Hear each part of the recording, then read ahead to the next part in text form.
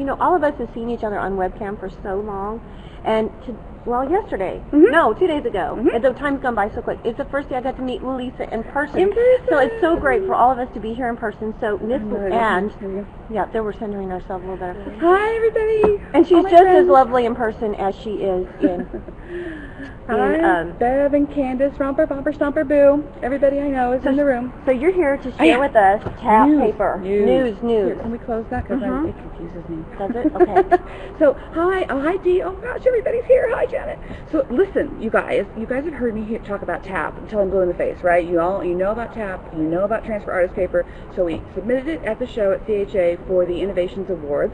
We got picked for the top 20. I think I told some of you that. Mm-hmm. Yes, Cynthia heard. Not only did we get picked for the top 20, we just found out yesterday that we are best of show. We got first place. So, TAP Transfer Artist Paper got the best, most innovative product in the whole show, as judged by a group of celebrity judges that included Terry O and Deborah Norville and I don't, every bunch of other people that I have yet to figure out. So we're really excited and we're so happy that you guys love the product. And you guys have seen me demo it, so I'm not going to bore you, but I did want to show you a couple of really funny samples that we have that I don't think I've shown you before.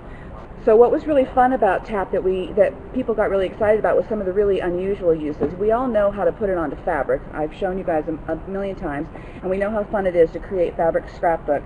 But here's a sample of it on ribbon, where you can actually print out your words on the TAP transfer artist paper for a few of you in the room who might be living under a rock or who don't know me, because it's like a broken record with me when I like a product. And so this is a really great way to create custom ribbon by just using your transfer paper to create words from your inkjet printer and then transfer them onto the ribbon. And then look at this. This photograph right here, this is a piece of Kleenex, people.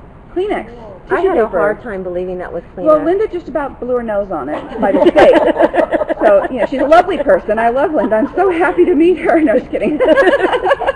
but this is Kleenex, and look how gorgeous that picture is is. I mean, how fun. And then this was another one that I don't think I've shown you. this is my favorite because Yeah. it's metal.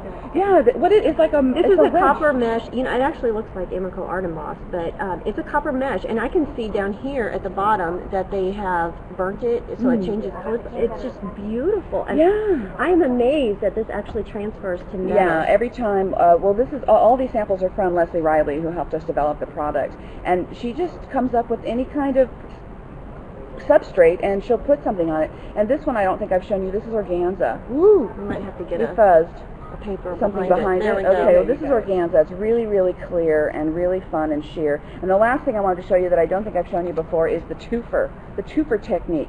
This is that ultralight Lutradur, and I know Lutradur is another broken record product with me that I love so much, but this is that really tissue thin Lutradur on top of a piece of cotton. And what we did was we took the picture and transferred the picture at one time through both pieces of fabric. So you get this twofer of the transfer going through the Lutradur down to the bottom. Let's show everyone. But it looks so dimensional. It looks really, really fuzzy and dreamy and dimensional when you have the two together. This looks like you would spend hours getting that effect in Photoshop. Exactly, totally, yeah. It's Seriously. really crackled, distressed effect because it goes through the fibers of the Lutradur. So doing a sheer fabric on top of a opaque fabric at the same time, one transfer, one step, and you get this really lovely dimensional effect.